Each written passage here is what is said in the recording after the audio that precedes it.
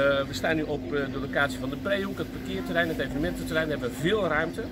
we, we, hebben daar niet alleen maar de food, maar ook de non-food plek te geven om hun waarde aan te prijzen.